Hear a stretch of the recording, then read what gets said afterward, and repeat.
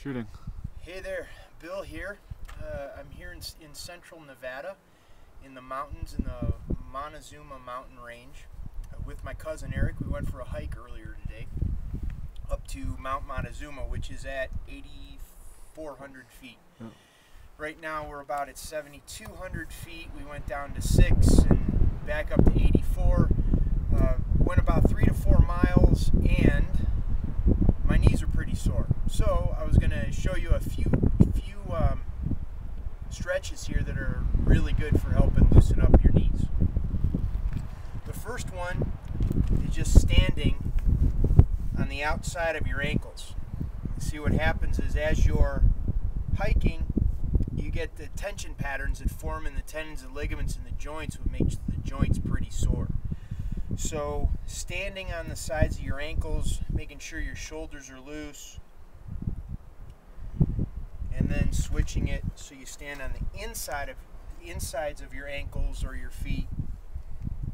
And this helps loosen up the tension patterns that start developing in your hips, your knees, and your ankles as a result of hiking a whole lot. When you do that, you'll kind of feel it may feel a little uncomfortable initially, make sure you're breathing. I cover that in my virtual clinic. I get into more details on the breathing component. So after you that a little bit, it loosens up your knees and your hips. I'm gonna, you're gonna find yourself a nice sturdy wall, and you're gonna squat right down next to the wall. If this hurts a whole lot, you want to go slowly. You may have a couple of chairs on either side to support you. But what happens is we get these tension patterns that really lock up in our lower back that really put a lot of pressure into the knees. And by stretching out, getting into the squatted position, it loosens that up. So it takes the pressure out of the knees, loosens up your lower back, and it also does wonders on your ankles as well.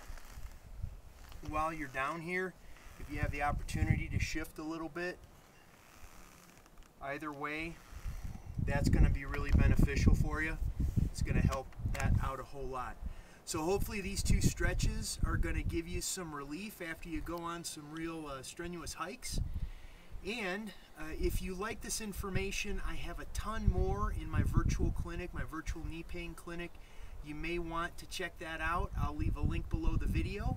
If you have any questions or comments, uh, any questions, feel free to leave them in the comment section below the video. Thanks a lot, and I'll talk to you soon.